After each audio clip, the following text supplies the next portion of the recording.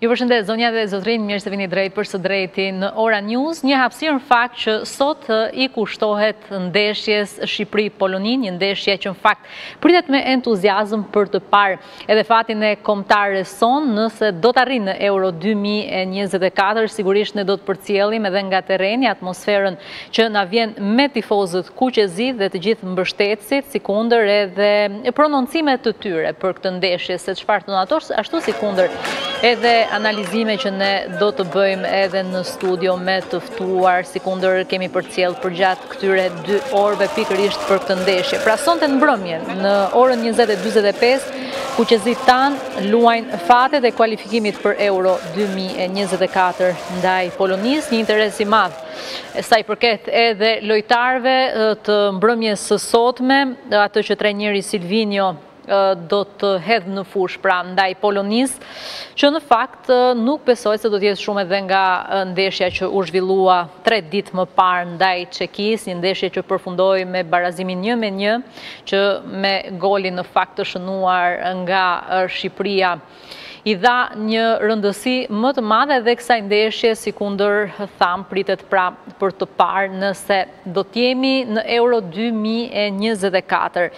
Nga terreni pas pak ne do të kemi mundësi të përcjellim drejtpërsëdrejti të gjithë atmosferën që na vjen nga tifozët kuqezi sikundër janë edhe këto pamje. Rikujtojmë se janë ndërmarrë të gjitha masat edhe nga ana e policisë për mbarëvajtjen e ndeshjes së sotme Shqipëri-Poloni, që do të luhet në orën 20.45. Mbetet për t'u parë edhe ndoshta jehona që vjen kështu për median polake, sikundër edhe atë se çfarë u përcoll tre ditë më parë në ndeshjen ndaj Çekisë. Një ndeshje me rëndësi kjo e sotmja, ne do të kemi, sikundër thamë, jo vetëm nga terreni, por besoj edhe me kolegët tanë në stadium, kur të startojë kështu edhe ndeshja e sotme. Shqipëri, Poloni. Një finale e madhe e kemi quajtur, sepse është pikërisht ndeshja e mbrëmjes së sotme që do të sjellë dhe do të luajë pikërisht fatin e kualifikimit për në Euro 2024. Mbetet me rëndësi për t'u parë dhe lojtarët, të cilët do t'i quajmë protagonistë pikërisht për dërgimin ose jo në Euro 2024 që do të mbahet vitin e ardhshëm pra në Gjermani. Pas pak me kolegun Altin Sulçe do të përcjellim edhe nga terreni atmosferën që na sjellin të gjithë tifozët kuqezi. Në fakt e kemi në këto momente kolegun Altin Sulçe. Altin të përshëndes, jemi drejt për së drejti, cila është atmosfera që na vjen nga terreni përpara ndeshjes Shqipëri-Poloni. E, Siklejda, birrat janë pirë pa fund këtu, edhe në fakt janë shumë dashamirës të cilët kanë dëshirë që të flasin në mikrofon në Ora News. Sa nisa të raportoj për sa i përket uh, mm -hmm. kësaj lidhje, shikoj një fans që afrohet dhe do të doja mendimin e tij. Si quheni, nga vini?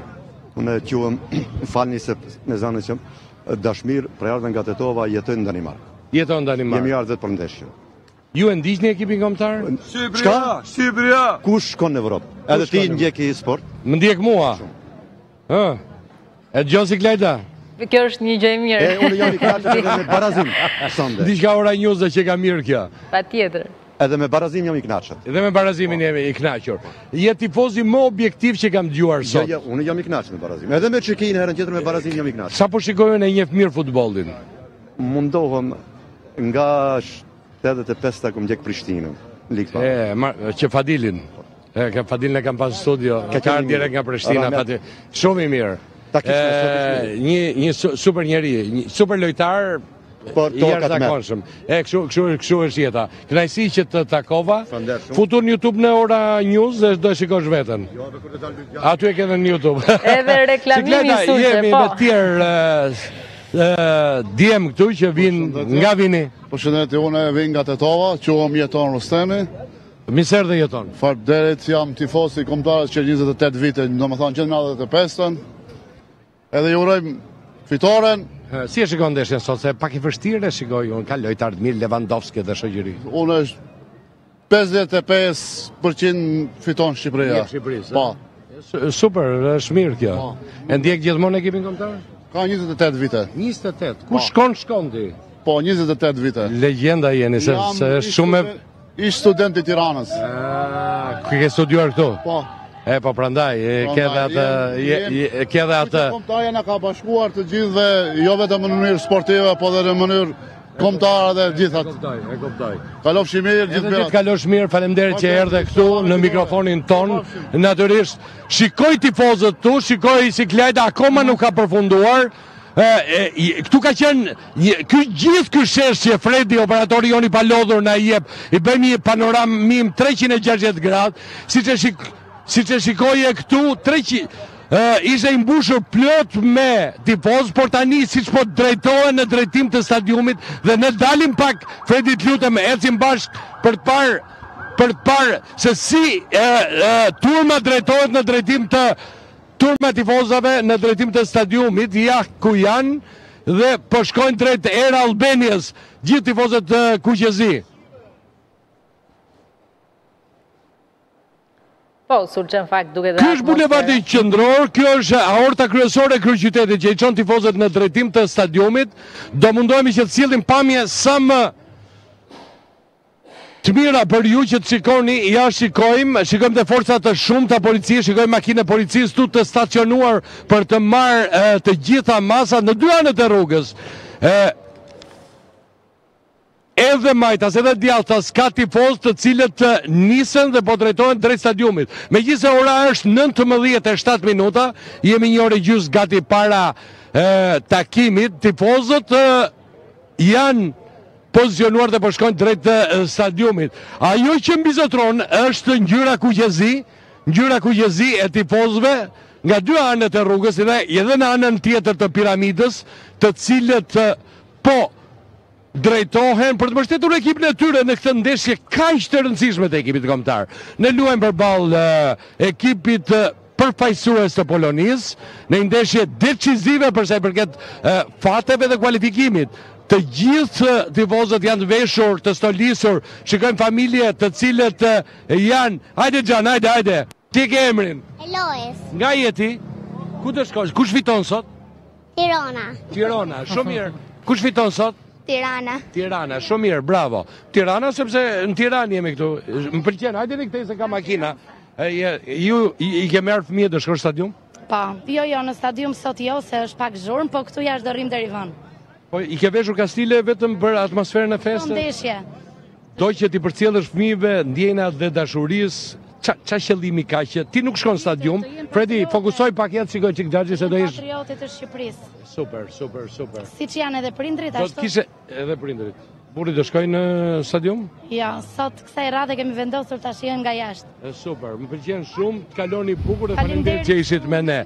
Pra, interesante është sepse edhe në momentin që njerëzit nuk shkojnë në stadium, Këtu krijohet një festë, krijohet një festë. Po shikojmë gjithë aksin e bulevardit qendror, shikojmë masat e policisë, të cilat janë pozicionuar për të bllokuar trafikun, natyrisht dhe nga ana tjetër ka janë të gjithë tifozët në bulevard që i drejtohen impiantit kryesor. Të gjitha rrugët çojnë në Air Albania. Në stadiumin kryesor, përshëndetje, mirëmbrëma! Fitore! Fitore! Kjo fitore sot na çon drejt Dojshlandës. Jemi shumë gëzum. Nga jeni? Tironës. Tironës. Edhe Gjermon. Okej, po flamuri këtu të... E ke, e ke ndarë në dysh? 32 vite jetoj vetëm në Dojshlandë, Dortmund. Jeton në Gjermani. Se po. Po ke ardhë për ekipin kombëtar? Si quhesh? Luan Mustafaj. Luan Mustafaj, haj.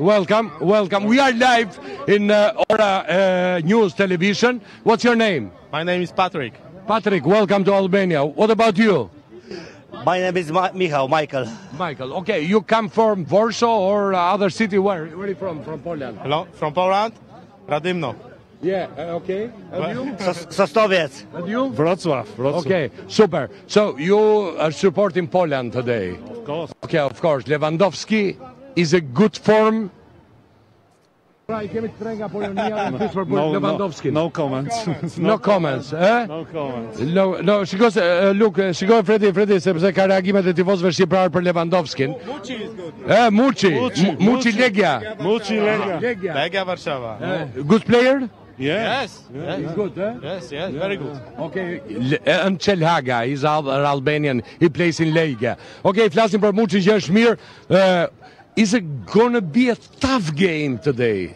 I them që do jetë një ndeshje shumë e vështirë sot. Mm, I don't know. Nuk e di. Okay, what about you? What do you think? I don't know. I don't know, bro. I don't know. What do I say? I them që është një ndeshje e vështirë. 1-1, very hard battle. Ok, një me një më jep uh, tifozi polak mendimin për sa i përket uh, ndeshjes, uh, një ndeshje e cila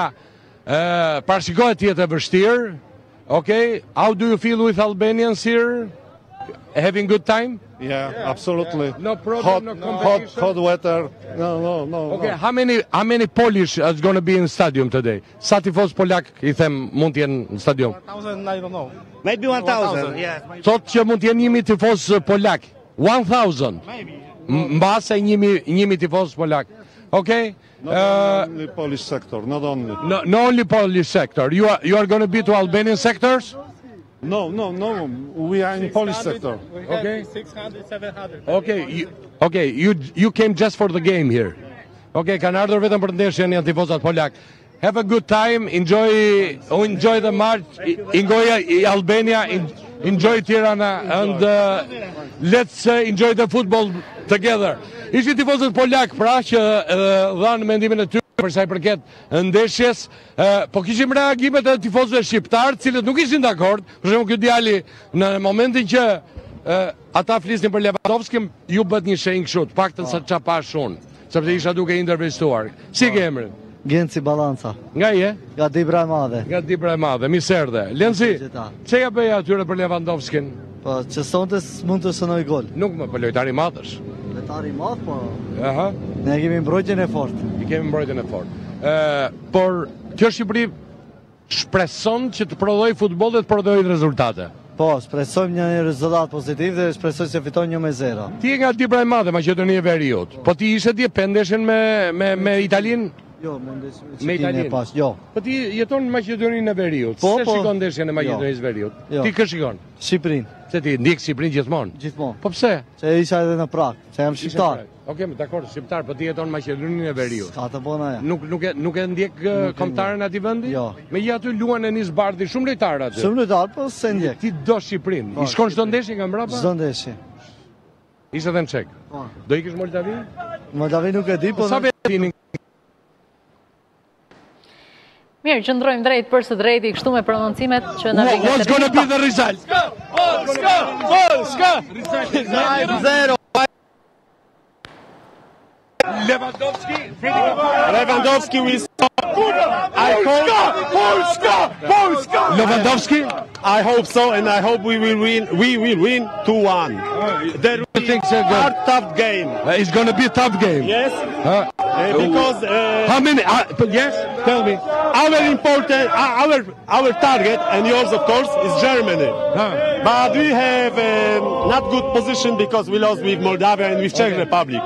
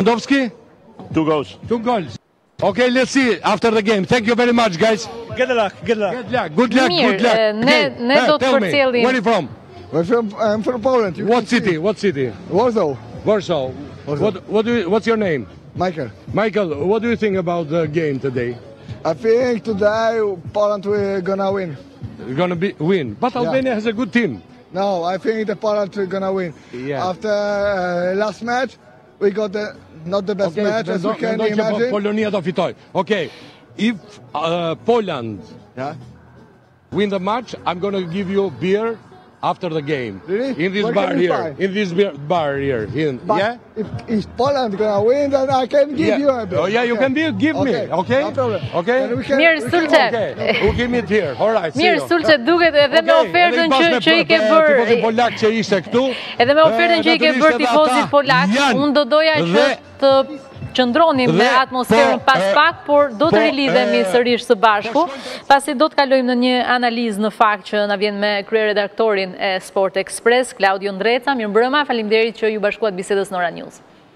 Mirëmbrëma, faleminderit juve për ftesën. Dhe sigurisht, si shihet kjo ndeshje e rëndësishme pa diskutim për Euro 2024, Shqipëri-Poloni, çfarë parashikimesh na vijnë? Kjo është një atmosferë që na kishte munguar prej kohësh, në fakt nuk e di ndoshta edhe në kohën e De Biasit kur Shqipëria shkoi në Europian nuk ka pasur një një optimizëm të tillë kaq të lartë për që në pjesën e kualifikuesve. Pra, nëse bëjmë një krahasim të ambientit të kësaj lloj përkrahjeje që ka pasur kombëtarja mund ta barazoj vetëm kur Shqipëria shkoi në Europianin e Francës me me De Biasin ndërsa tani me Sylvinhon Jemi që në kualifikuese, pra ende pa shkuar në grupe. E kemi parë edhe në në Çeki, nëse kombëtare të tjera si Polonia apo Çekia po luftojnë për ato dy bileta për të shkuar në Europianin e Gjermanisë, tifozët shqiptarë kanë shkuar prej kohësh, le ta themi, në Europianin e Gjermanisë, pasi e kanë ndezur Pragën, e pushtuan Pragën, ishin në zemër të saj duke duke kënduar, duke kërcyer, duke hedhur valle dhe kjo i habiti padyshim jo vetëm çekët por edhe të gjithë turistët që ishin aty në Pragë edhe nëse ne e ndezim Pragën imagjinoni se çfarë mund të ndodhte në në Air Albania në Tiranë nuk jemi të befasuar aspak nga nga gjithë ky ky reagim i tifozëve nga kjo dhe mbështetja e madhe madje mjafton të theksojmë që në ndeshjen e e Shqipërisë kundër Moldavisë u shitën të gjitha biletat, pra nuk kishte më biletë të ngelur dhe dhe Shqipëria për më tepër vinte nga një humbje me me Poloninë. Por tifozët nuk janë dhe dhe aq jo të informuar me futbollin, le ta themi, ëh, sepse mhm. ne humbëm me Poloninë dhe ata e mbushën menjëherë stadiumin 22000 bileta të shitura për ndeshjen me me Moldavinë. Pra ata e panë diçka te te Shqipëria e Silvinjos, e panë se ajo kishte ndryshuar u rikthye ajo kombëtare që atyre u kishte munguar, që luante me zemër, që luante me shpirt dhe iu përgjigjën menjëherë për t'i ardhur në në mbështetje. Sa i përket parashikimeve të, të gjithë jemi të bindur, është një farë bindje që na u shtua edhe sidomos pas asaj konference të djeshme të trajnerit të Polonisë Santos që në median tonë dhe në Poloni është komentuar shumë. Santos ishte një një konferencë paksa anormale dje, ka pasur disa gjeste të tij të fytyrës duke mbyllur sytë duke pyetur zyrtarin polak që ishte aty që kur do mbyllej ajo konferencë e kishte ishte komplet i paduruar në momentin kur bëhej përkthimi i pyetjeve ose i përgjigjeve nga gjuha e polakëve në në, në atë shqipe. E gjitha kjo tregon është një farë gjuhe trupi që tregon se Santosi do të jepte gjithçka nga vetja që të mos ishte pjesë e e Polonisë në në këtë moment, sepse ai e di që nëse sot humbet ai do do të shkarkohet dhe do do të jetë një turp i madh në në karrierën e tij. Mm. Santosi kur ka qenë pjesë e Portugalisë arriti që të shpallej edhe kampion Evrope dhe ka një rastësi fati sepse ne kemi mundur Portugalinë në ndeshjen e parë me Benton dhe Bento u shkarkua dhe Santosi mori drejtimin e Portugalisë duke e, e, e arritur që të fitojë edhe titullin e, e Evropianit. Ndërsa tani duhet t'i japim dhe një palë pushime të tjera Santosit, të jetë i qetë dhe të marrë ndoshta një tjetër ekip, një tjetër kombëtare në drejtim dhe të ketë sërish sukses me të, por kurrsesi me Poloninë. Po, dhe pa dashur të kaloj ende tek parashikimet, ndoshta pyetje të fundit mund të jetë se sa mund të shihet kjo ndeshje. Sa i përket mediave polake, ju sigurisht si kryeredaktor edhe i Sport Express, çfarë përcjellin ato pikërisht për këtë ndeshje dhe në vijimësi të asaj analize që ju bëtë? Atëherë nëse flasim për reagimin e mediave polake, më duhet të të, të citoj një intervistë të, të fundit që ka ardhur nga mediat polake nga me një ish lojtar polak, i cili ka lozur dhe me Partizanin e Tiranës në në vitin 2005. Ai e theksonte qartë në, në Poloni, tha shqiptarët janë një kombëtare, është një komb i cili e ka flamurin e shenjtë dhe lojtarët kur të dalin nga dhoma e zhveshjes, për t'u futur në fushë do të dalin me sopatë në dorë. Pra e din, e din, e din shumë mirë se se si është përjetimi dhe të gjitha mediat polake e, e përshkruanin, e paralajmëronin kombëtaren e tyre që në Air Albania do i priste një ferr i vërtetë dhe është ndoshta momenti ky më i keq që Polonia mund të vinte në në Shqipëri, pasi nuk vjen nga një formë aspak e mirë dhe do të përballet në në në Shqipëri me lojtarë që tashmë e kanë këtë lloj mbështetje të tifozëve, por edhe pa pasur këtë lloj mbështetje të tifozëve cilësisht Shqipëria sërish mund të fitojë kundër kundër Polonisë. Kjo është pak a shumë pra mënyra se si e kanë përshkruar mediat polake, por gjithsesi në krahasim me me mediat çeke të cilat kishin shumë nënvlerësim për Shqipërinë, mediat polake e dinë realisht forcën tonë, e dinë realisht se çfarë ferri do do i presë ata në Air Albania, pasi ka qenë edhe më parë pjesë kur ne luanim në kualifikueset e Botërorit, luajtëm sërish kundër Polonisë dhe e pamë pak a shumë se deri ku mund të arrijë gjendja, por kjo këtë herë doza e e adrenalinës, e emocionit është shumë herë më e madhe dhe kjo e gjitha vjen falë Silvinjos. Kjo është në përgjithësi mënyra se si përshkruhet nga Polonia kjo ndeshje me Shqipërinë. Madje, madje është ndoshta disi e habitshme, por kemi arritur në në në kohën kur në Poloni ka dhe ish-lojtarë apo trajnerë që thonë që ne ne mund t'i marrim barazimin Shqipërisë tani. E kupton, domethënë, ku ka shkuar situata. Nëse para ata vinin dhe llogarisnin golat se sa do të fitonin kundër nesh, Tani, duke parë situatën që kemi Shqipërinë më të mirë të viteve të fundit dhe kemi Poloninë më të keqe të viteve të fundit, po bëhet, po shtrohet edhe një diskutim pra që ne mund të dalim me barazim nga kjo transfertë me Shqipërinë dhe është një rezultat më shumë i mirë për Poloninë se sa për ne. Po, dhe për të folur paksa edhe për formacionin, mendoni se është e njëjta gjë si me Çekinë dhe më pas ndalemi pak tek trajneri Silvinjo. Ok, sa i përket formacionit është folur në media që mund të jetë i njëjti formacion me me me Çekinë, presim të të zyrtarizohet gjithçka, por mendoj se do të kenë disa ndryshime pasi formacioni me me Çekinë ishte një formacion shumë mbrojtës. Silvinjo donte që të dilte me barazim nga ajo transfertë, nuk nuk kërkoi fitore, ndërsa fitorja sot besoj se është detyrim, pasi nëse ne nuk fitojmë as sot kundër Polonisë, atëherë nuk nuk do të kemi më shanse besoj për shumë vite për ta mundur. Kështu që nëse flasim për formacionin, besoj se duhet të të ketë disa ndrrime, sidomos në krahun ku ishte Taulant Seferi, i cili luajti për shumë minuta kundër Çekisë dhe ishte si sulmues krau, por në fakt kishte marrë më shumë detyra mbrojtëse, pasi Sylvinho nuk i mëshoi shumë pjesës sulmuese dhe kjo tregon vetëm një gjuajtje në portë kundër Çekisë. Pra besoj se mund të ketë vend për Uzunin ose ndoshta për Muçin në vendin e Seferit dhe ka shumë pritshmëri nëse Sylvinho mund të guxojë që të uli Elseid Hysaj në stol dhe t'i japi krahun Ivan Balliut në krahun e djathtë të mbrojtjes, pasi dihet që Ivan Balliu ka ka një lloj tjetër performance në, për ndihmën që i jep fazës sulmuese së Shqipërisë. Sa i përket Sylvinhos është nëse Shqipëria ka këtë lloj mbështetje tani nga këta tifozë po e komentojnë në këtë mënyrë, i gjithë sekreti është pikërisht ky trajner Sylvinho. që në momentin e parë që ka ardhur ai i ndezi direkt shpresat e shqiptarëve dhe ne mos harrojmë që vinim nga nga një periudhë shumë zhgënjyese e tifozëve me me kombëtaren, aq sa në ndeshjen kundër kundër Islandës në kohën kur ishim me Rejën situata përshkallëzoi deri aty, aq sa në fundin e ndeshjes pas një barazimi tifozët i kanë kërkuar lojtarët që të të hiqnin fanellat, pasi për ta ishte një turp, pasi ata vetëm vetëm ecnin në fushën e lojës dhe shikonin që kjo kombëtare nuk nuk i përgjigjej jo vetëm pritshmërive, por as nuk luftonin për atë lloj fanelle, as nuk e nuk e djersisnin atë.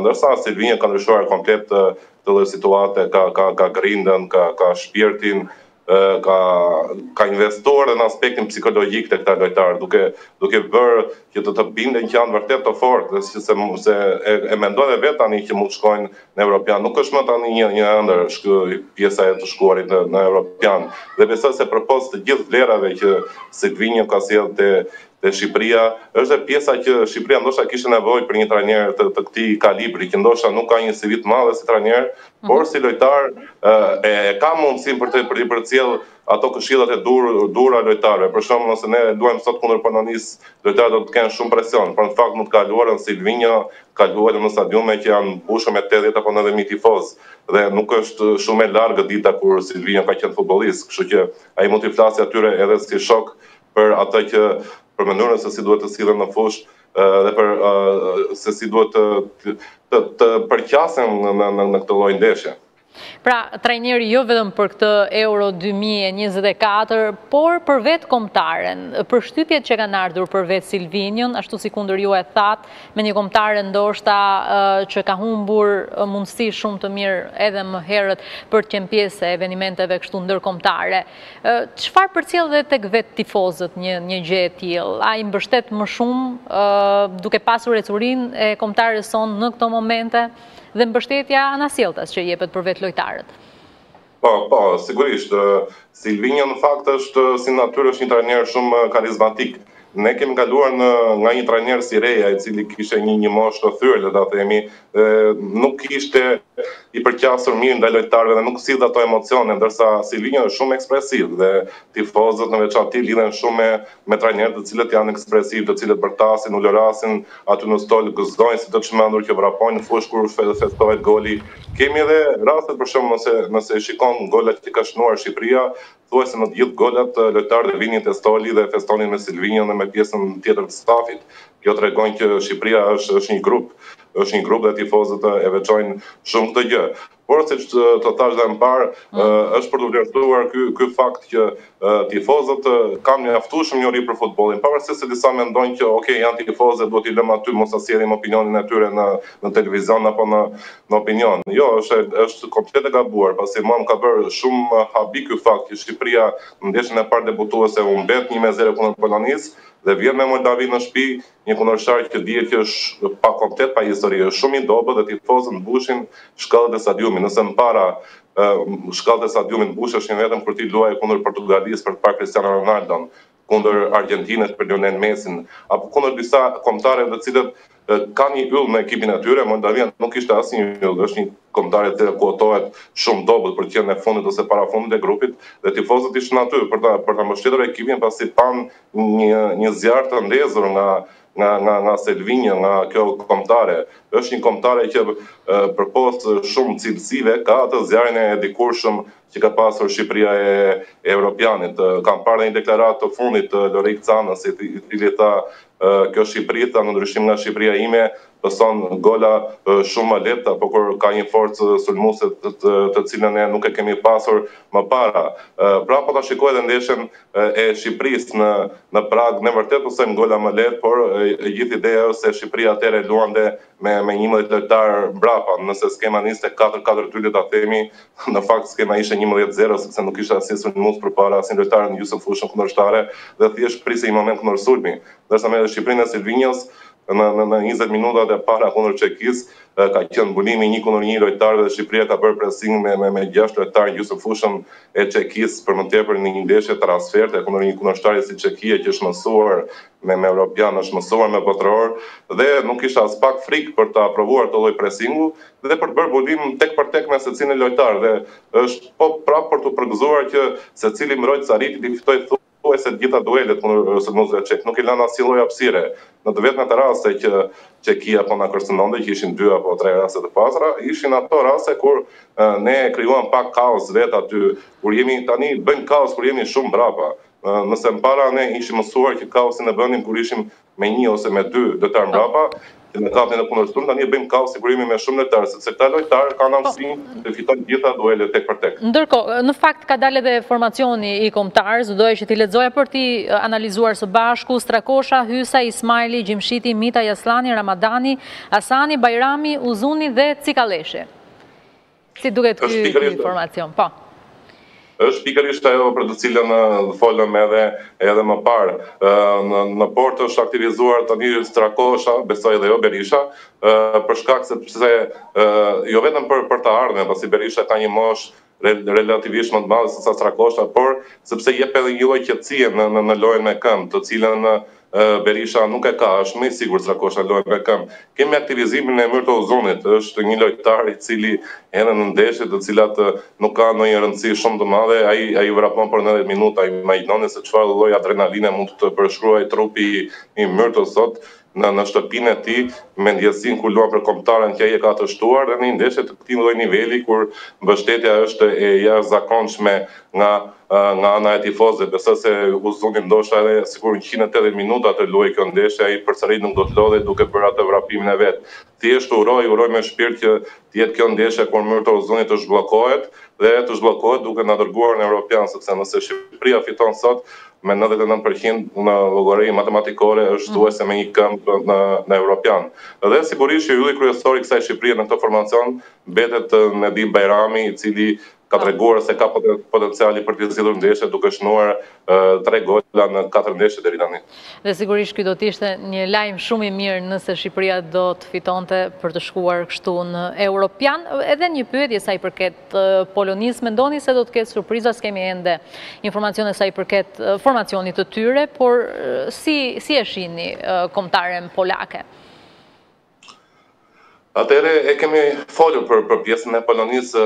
Polonia është në një krizë, është në një krizë shumë të madhe, ka ka probleme. Nuk mendoni se do të ketë surpriza nga ana e tyre sot ose cila është pika më e fortë e tyre në në këtë ndeshje? Pika më e fortë e, e Polonisë në këtë ndeshje është pikërisht ajo që unë i frikësohem. Ajo që unë i frikësohem është gabime, dhurata që ne mund të bëjmë.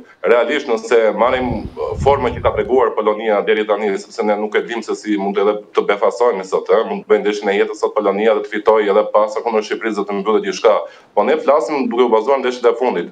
Ajo që unë i frikësohem realisht është pjesa që Shqipëria mund të bëjë dhurata në të cilat Polonia ka disa lojtarë si Lewandowski apo Zielinski, të cilat nuk i falin ato dhurata. Për shembull, ti mund ta markosh Lewandowskin për nëntëdhjetë minuta të plota, mjafton një gabim i vogël në minutën e nëntëdhjetë e një dhe ai mund të shënojë një gol nga jashtë zone dhe të bëhet ylli i ndeshjes duke lozur vetëm një minutë. Kjo është pika më e fortë e Polonisë, pra që ka lojtarë si Zielinski, si Lewandowski që janë në një kalibër tjetër, të cilët mund të lozin për tetëdhjetë minuta komplet jashtë forme Por mjafton një dhuratë e jotja dhe ai mund të shënojë dhe të zgjidhë ndeshjen. Për pjesën tjetër besoj se Shqipëria është dukshëm më favorit, është dukshëm më në formë më të mirë dhe kam një ndjesi se sot ndoshta Shqipëria mund të fitojë me më shumë se dy gola avantazh. Pra ky është parashikimi, cili është parashikimi në numra, në shifra nëse mund të kemi? Parashikimi besoj se do të jetë një ndeshje ku Shqipëria do të fitojë me shifrat tre me një. Tre me një, në fakt një, një shifër e lartë dhe shpresojmë që të jetë kështu në fakt për Shqipërinë do t'ishte ndoshta një anë pozitive edhe për ndeshjet në vijim. Sa i përket mhm. ndeshjeve në vijim, çfarë mund të themi? Do të jenë të lehta apo të vështira pas kësaj finaleje, nëse cilësojmë kështu të mbrëmjes së sotme? Atëherë llogaritë janë janë shumë të thjeshta, nëse Shqipëria fiton sot kundër kundër Polonisë, atëherë mjafton i mjaftojnë vetëm dy fitore në tre ndeshjet e mbetura dhe në këto dy fitore kemi dy përballje kundër rivalëve që supozohet në letër që ne të fitojmë kundër tyre, të cilët janë Moldavia dhe Ishujt Faroe. Ë, por gjithsesi nuk duhet të harrojmë që Moldavia ka ka mundur Poloninë dhe ka barazuar me me Çekinë në shtëpinë e saj. Është një ekip fushe. Nuk është një ekip për të lozur fushën kundërshtare, sepse ne në Tiranë e mundëm shumë lehtë Moldavinë, por kur luan në fushën e saj, është shumë e vështirë, veçanërisht nëse ti nuk shënon në pjesën e parë. Por nëse ti mund të shënosh në pjesën e parë, kundër Moldavisë mund ta zgjidhësh shumë lehtë ndeshjen. E parë në këtë prizëm, mendoj që Shqipëria nëse fiton sot kundër Polonisë, pra i duhen edhe gjashtë pikë në kundër Moldavisë dhe Ishujt Faroe që është një problem që zgjidhet shumë lehtë nëse mund të jetë impenjimi maksimal, sepse edhe nëse Polonia dhe Çekia i lanë pikët me Moldavinë, i kanë lënë për shkak se kanë shumë nënvlerësim, siç të thashë Çekia e mori Shqipërinë shumë lehtë dhe nuk kishte asnjë shkrim për Shqipërinë në mediat polake deri në momentin që ne barazuam atje dhe pa u sforcuar fare dhe më pas dolën disa ish-trajnerë të cilët pranuan që Nuk njiftin asnji lojtar të Shqipërisë dhe po i shikonin në internet se ku luanin ata dhe u befasuan kur panë që shumica e tyre ishin pjesë e Serie A. Imagjinoni se si mund të jetë sjellë Çekia me me Moldavinë. Për këtë arsye mendoj se një fitore sot na çon qind për qind në Europian, por por unë besoj se Shqipëria nëse fiton sot mund të dalë dhe e para e grupit. Mund të dalë e para e grupit sepse pas kësaj ndeshje kundër Polonisë ne do të kemi një tjetër ndeshje në muajin tjetër por me Çekinë.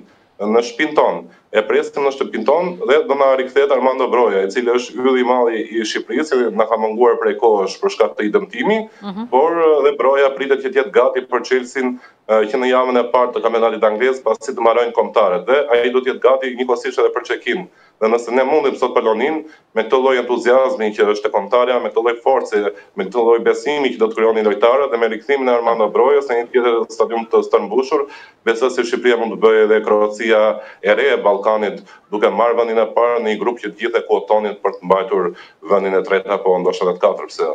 Qartë Ndreza, të falenderoj që ishe drejtpërsëdrejti në ekranin e Ora News. Faleminderit ju dhe. Mirë, dhe tanimë ne shkojmë pikërisht aty ku është atmosfera e tifozëve kuqezi me kolegun Altin Sulçe. Altin jemi sërish së bashku pas kësaj shkëputje dhe sigurisht analizës që ne kishim në studio. Tashmë me formacionin zyrtar të kombëtares shqiptare, çfarë mund të flasim më shumë, Sulçe? Po, Përshëndetje, përshëndetje gjithëve. Jemi këtu natyrisht shpërngulur gjithë departamenti i sportit këtu për të parë zhvillimet më të fundit. Jemi në zemër të aortës ku të çon drejt Impiantit më të madh pra në Air Albania ku sot do të jenë 22 mijë veta atje për të ndjekur takimin mjaft të rëndësishëm midis Shqipërisë dhe Polonisë, një ndeshje që fillon 20:45 dhe është shumë e rëndësishme për sa i përket historisë së grupit tonë dhe një kualifikim të mundshëm në Euro 2024 pra që do të zhvillohet në Gjermani. Tifozë shumë janë mbledhur këtu dhe po presin dhe të pozicionohen. Natyrisht unë do mundohem të marr dhe një intervistë. Përshëndetje, nga jeni?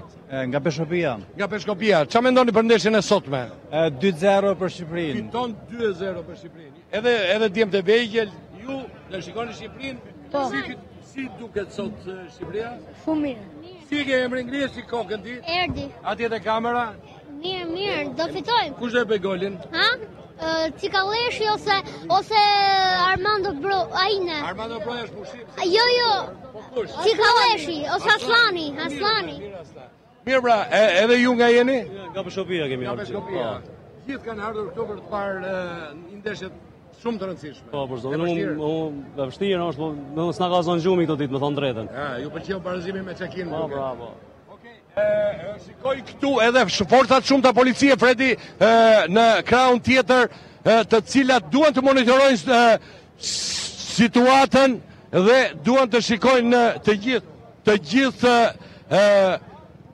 atmosferën kuqezi. Kam dhe kolegun Drilon Xhepollari këtu që vjen dhe me formacionet më të fundit. Fredi, po, Drilon, përshëndetje, mirëmbrëma. Ke lënë studion tani për një tjetër atmosferë. Atmosferë e jashtëzakonshme këtu shohim tifozët kuqezi të cilët nga momenti në moment krijojnë atë emocionin e atmosferës. Lajmi i fundit. Silvinjo ka publikuar formacionin befasi e madhe në portë nuk do të jetë Berisha por Tomas Strakosha. Pse pse ndodhi kjo? E befasueshme, nuk e di çfarë ka dashur të bëjë Silvinjo me këtë zgjedhje duke qenë se Berisha bëri një ndeshje të madhe në Çeki, një pritje. S'ka ndonjë dëmtim? Nuk dihet ende, nuk e di pse ka ndodhur kjo. Gjithashtu në mbrojtje do të kemi Elseid Hysajn, krahun e djathtë, Ismajli, Gjimshiti në qendër, i cili është kapiten, krahun e majtë konfirmohet Mario Mitaj, risi e trajnerit Silvinjo. Në mesfushë do të jetë Ramadani, Bajrami dhe Asllani. Nuk ndryshon gjë. Nuk ndryshon gjë. Treshja që luajti edhe në ndeshjen Çekin. Sulm risi është Uzuni i cili merr vendin e Taulant Seferit. Në majën e sulmit do të jetë Sokol Cikalleshi, i cili do të ketë dhe mbështetjen e Asanit, i cili ka besimin e trajnerit Silvinjo në këto kualifikuese. Altin, ndalemi pak tek aktivizimi fillimisht i portierit Berisha, i cili luajti mirë ndeshjen e parë dhe e humb formacionin, Vjen Strakosha, pse kjo zgjedhje, Strakosha nuk ka luajtur. Nuk i dihet sepse mund të ketë ndonjë dëmtim, nuk e dimë si ka qenë nata për Berishën, mund të ketë ndonjë shqetësim. Do ketë do ketë natyrisht edhe një shpjegim për sa i përket gjendjes dhe natyrisht edhe momentit të Berishës. Berisha mendoj që ishte portieri dhe ka treguar gjatë gjithë këtyre ndeshjeve stabilitet.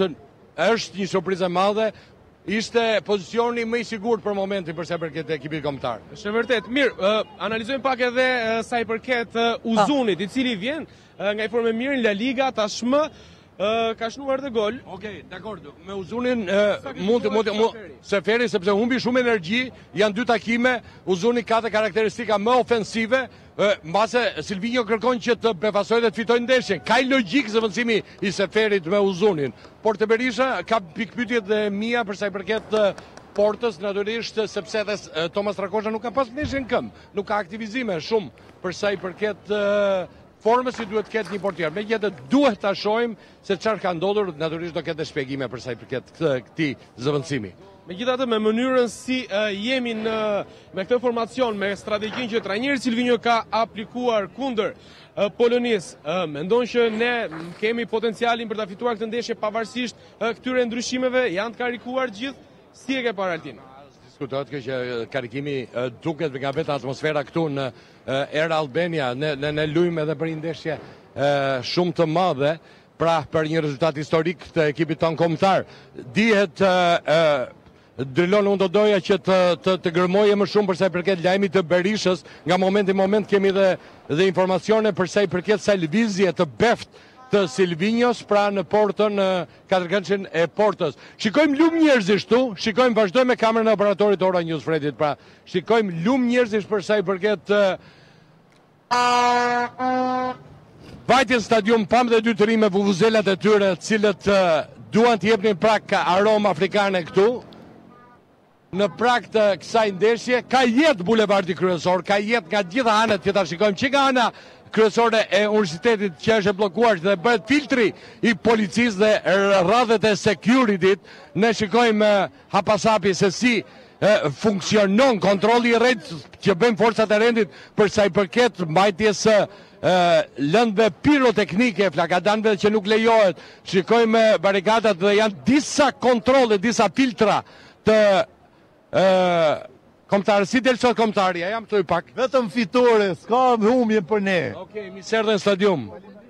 Shikojmë të gjithë njerëzit të afrohen atje, duan të shkojnë në stadium, duan të shijojnë këtë ditë dhe mbrëmje të madhe të futbollit shqiptar. Ngado t'i kthesh sytë, ngado të shikosh? Shikon fanela kuqezi, shikon njerëz që shijojnë futbollin. Jemi live, vetëm një rezultat për ndeshjen. Nga jeni? 2 me 0, unë jam nga Shqipëria, jetoj në Australi. 2 me 0 për Shqipërinë. Po ju?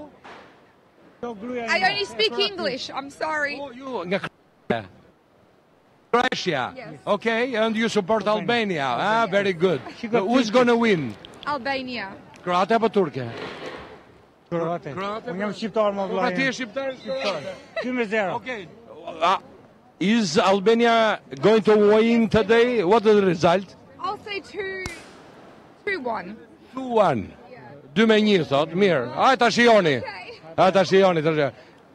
Do të japësh intervistë. Nga je? Unë jam këtu nga Tirana, po jetoj në Francë, kam ardhur enkas për të parë ndeshjen. Po? Mendoj se sonte do fitojmë pasi na duhen tre pikë për të kaluar mbi Poloninë. Po? Duke patur bë... Po pse e ke marrë kaq seriozisht, se të shikoj shumë serioz jashtë mase? Po se pres një shok të më sjellë biletën dhe akoma s'e ka sjellë dhe tani. Paske ankth, pse nuk gjen dot bileta, ë? Nuk gjen. Po ç'a bëjnë? Shesin në treg të zi, ç'a bëjnë? Kështu po rreth e qark, shesin? Nuk nuk shet, ë? Nuk ka? E ruan biletën më mirë se lekun. Po si bë, i ruajnë biletat më shumë se jo, lekët. Më shumë, më shumë. Po si bëhet, domethënë në qoftë se do të gjesh një biletë, si bëhet po. në tregun e zi? Por sot kam ardhur, s'kesh, s'ke mundësi. Nuk ka shumë. S'ke Ishalla e gjen biletën, ishalla. Po, po. Ju do e shikoni ndeshjen? Unë do e shikoj. Se e ndigjova pak atë kolegun tënd që i tha atë... Berisha nuk lun, lun Strakosha, ah, ky është lajmi. Të falenderoj, të falenderoj. Pra, ne vazhdojmë këtu, jemi Jemi në lidhje për sa i përket kësaj ndeshje shumë të rëndësishme. Shikojmë këtu edhe edhe fanelat shqiptare në çdo moment të shesin. Si kanë vajtur shitjet sot, se jemi live. Mos e vrit mendjen, mos e vrit mendjen. Kur luan kombëtarja, pse nuk e tregon, në? Okej, po, po të blej shall, sa lekë shalli? Intervista, dakord, dakord. Rëndësi ka që rëndësi ka që ekipi kombëtar, ekipi kombëtar të ketë një performancë sa më të mirë sot, natyrisht edhe ne ta mbështesim këtu, do mundohemi të marrim edhe tjera intervista dhe të flasim për kombëtaren.